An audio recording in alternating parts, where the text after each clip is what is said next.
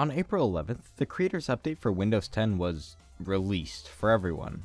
Kind of. Many new things were introduced, such as Paint 3D, which is a pretty fun way to pass some time. For Counter-Strike though, the most potentially exciting thing is Game Mode, a setting you can turn on through, well, the settings, that will pour more system resources into the games you play. This update was actually available for optional download before the release date, and Vodka Bulls Zero on Reddit benchmarked CSGO before and after the update, with the after having Game Mode on, and noticed an FPS increase. At first, I was kinda skeptical. There was an article in February this year that actually benchmarked a ton of games using this setting. While game mode is still pretty early, the author said it was kind of underwhelming as there was no FPS increase. However, they stated these tests were done on a clean PC, and that computers with a bunch of crap, like mine, may benefit from specifying more resources towards the game than other services. So I started testing. Here are my specs for like the fifth time. Here are my CPU limited settings, and here are my GPU limited settings. Next is to get game mode working. I hope I'm not turning crazy. In PC settings, gaming, game mode, I have game mode on.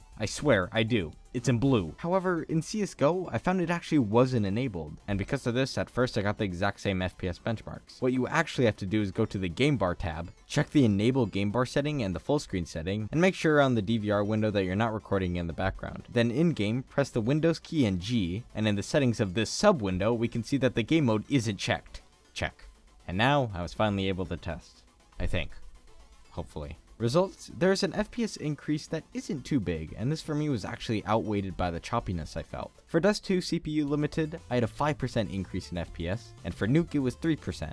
At this point, many may have already written this off as basically nothing, and for this amount of FPS, I'd probably agree. For GPU limited benchmarks, there's a 3% increase for Dust 2 and no increase for Nuke. This data aligns pretty well with Microsoft, who said we can expect a 2 to 5% increase. However, a lot bigger of a factor to observe is background tasks. When we look into benchmarks comparing background tasks enabled and disabled, we see a large difference. The main problem for me was choppiness. It's pretty strange. I swear, I have DVR disabled. While it doesn't show in the benchmarks at all, I had this super duper annoying choppiness as if I was rapidly opening and closing my eyes. Because of this, I will disable this setting. As for my case, the benefits don't outweigh the negatives. For you, it may be different though. Let's find out. A very popular way to benchmark CSGO is to look at the FPS counter in the top left. Stop that. Along with this method, I'll discuss two other methods that I've used but I don't recommend. The first is Ulletical's FPS benchmark map, the one that was used in the Reddit post. I have a huge amount of respect for the map creator, and I constantly use Ulletical's other maps for all sorts of things in my videos, but I stay fairly distant from this map. Its best pro is the extreme convenience. Download the map, click the green button, and then open your console. The problem for me personally is with the FPS. I would like benchmarks that accurately depict performance I experience in active duty maps. And while Inferno and Nuke are really pushing it, I'm still not getting to the level of this map.